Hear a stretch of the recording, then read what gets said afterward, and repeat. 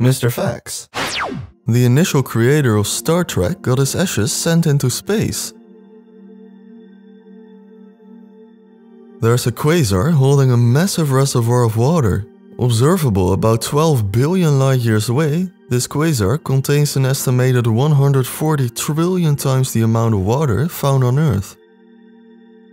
The bone mineral density of astronauts often decreases. When spending a long time in space, astronauts are known to experience a significant decrease in the strength of their bones. In some cases, it's a permanent loss. This bone degradation leads to the formation of kidney stones, and kidney stones is an absolute killer for a spaceflight mission. When we have a kidney stone patient in space, we would bring back the entire crew.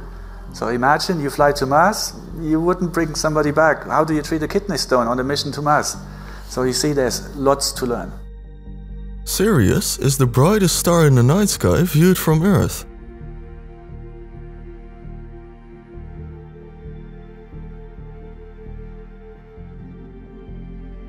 Several planets have massive volcanoes that spew water.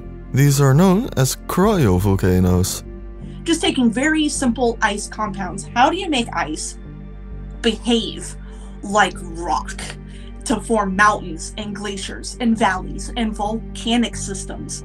There are many different ways for ice and slush and and cryomagma to reach the surface. We're realizing it's it's not a clear cut uh, process whatsoever.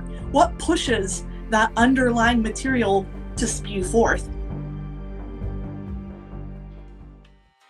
Thanks for watching, I appreciate it. Please like and subscribe for more facts, and peace.